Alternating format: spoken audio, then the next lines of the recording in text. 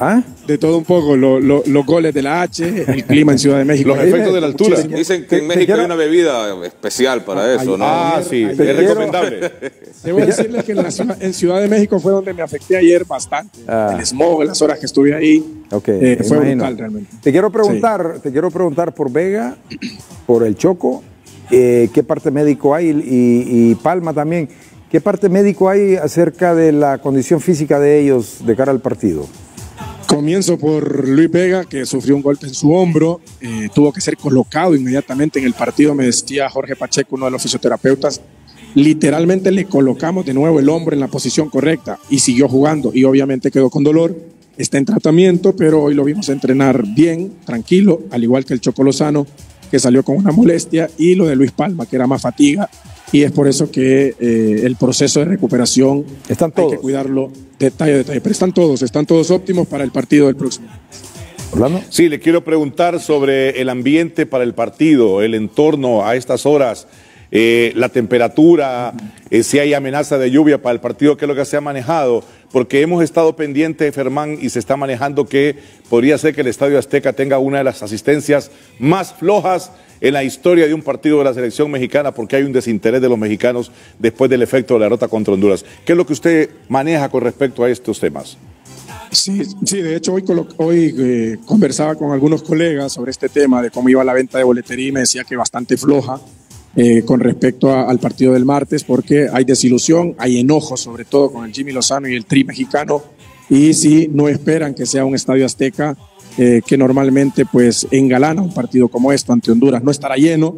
De hecho, hoy eh, había dudas de que la gente llegara a la América Chivas, por ejemplo, en el Azteca, en buen número. Y, es que hay un desaire, una desilusión en general y están realmente retraídos en cuanto a querer asistir al partido del próximo martes. Así que ese es el ambiente. en cuanto a la prensa, de igual manera, no tienen tanta fe en que el equipo mexicano vaya a remontar este partido el próximo martes, aunque algunos también pues, son de la opinión de que no van a tener ningún problema en el Estadio Azteca para ganarnos y dejarnos fuera, así que al menos del boleto directo. Así que ese es el ambiente eh, a nivel de afición, a nivel de prensa y en el caso de la selección hondureña lo importante es que están enfocados y muy claros de que todavía, como bien decía Juan Carlos, no se ha ganado nada. Hola Jorge, gusto saludarte. Eh, una bebida mexicana que tiene un gusanito es, dicen que la indicada para, para que mañana estés en perfectas condiciones. Hablando de mañana justamente, eh, cuéntanos Jorge, ¿qué, plan tiene la selección? Se mantendrá, entiendo, en, en Cuernavaca. Y, yo sé que vos has estado en muchas coberturas. Yo quisiera que, tal vez nos transmitieras esa, eh, esas emociones que notas dentro del grupo, ¿no? Si después de ese triunfo realmente eh, la sensación en, el ambiente, en el jugador, realmente se mantiene de optimista, ¿no? de, confianza para poder hacer algo todavía más histórico que es eh, clasificar a, la Copa América del próximo año, Jorge. Sí, sí, sin duda, campeón del pueblo, vamos a hacer caso a tu receta. Vamos a ver más tarde cómo nos va. bueno, mañana se mantiene la agenda de la siguiente manera. Entrenan ahí nuevamente en esa cancha que hemos estado viendo en pantalla en el estadio de Mariano Matamoros.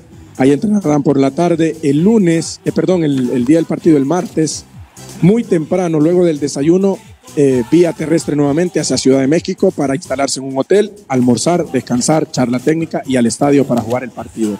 Así están eh, estructuradas las agendas de mañana y del día del juego. Y con lo que me consultas, mira, yo veo un equipo sobre todo enfocado, enfocado, realista.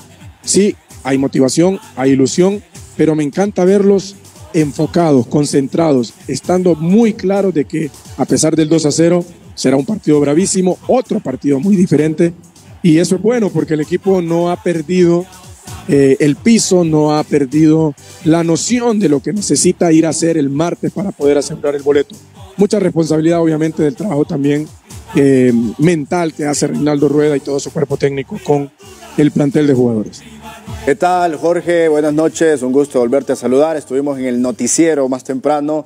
Eh, solo consultarte lo que dijo Reinaldo Rueda en mesa redonda, que, que hubo mucho atraso en migración, que cuando llegaron al estadio también hay mucho, se está hablando ya de Iván Barton, el salvadoreño, Faitelson, uno de los más reconocidos en la prensa mexicana, lo dijo también, que de alguna u otra forma México tenía que clasificar a, la Copa América, o sea, ya dando un poco de, suspicacia a este asunto. ¿Cómo, ¿Cómo, se vive ahí a lo interno? Porque casi era una, una queja que lo vemos poco en Reinaldo Rueda, todos estos, estos detalles.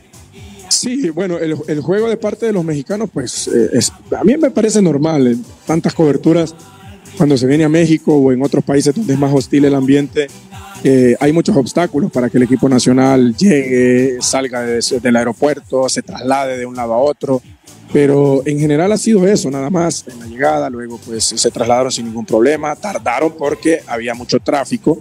Ayer, eh, este es un fin de semana largo en México, mañana se celebra el Día de la Revolución Mexicana, entonces hay un puente de feriado y hay mucho movimiento en los diferentes sectores por donde hemos estado y para la selección fue complicado.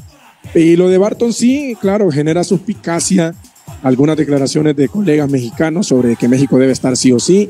Eh, Reinaldo Rueda me parece eh, en, lo particular que ha sido muy, muy contundente y muy eh, puntual, muy preciso de manifestar lo que manifestó hoy en la mesa redonda. Me parece muy acertado el hecho de que ponga sobre la mesa también el tema de parte de Honduras, porque así también respondemos de alguna forma este juego que le podemos llamar el juego sucio, ¿no? Que se hace extra cancha y que ojalá no se traslade al campo eh, este martes con el tema arbitral, como bien lo decía Ellis, que no haya ninguna incidencia, que al final, pues que se defina por fútbol y no por temas eh, arbitrales o alguna cosa extrafutbolista.